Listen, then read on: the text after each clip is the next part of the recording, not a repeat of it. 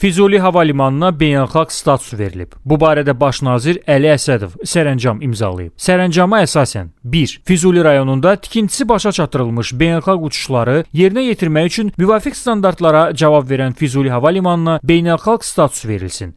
2. Azərbaycan Respublikasının Xarici İşlər Nazirliyinə tapşırılsın ki, Füzuli hava limanına bu sərəncamın birinci hissəsi ilə beynəlxalq status verilməsi barədə müvafiq beynəlxalq təşkilatlara məlumat göndərsin.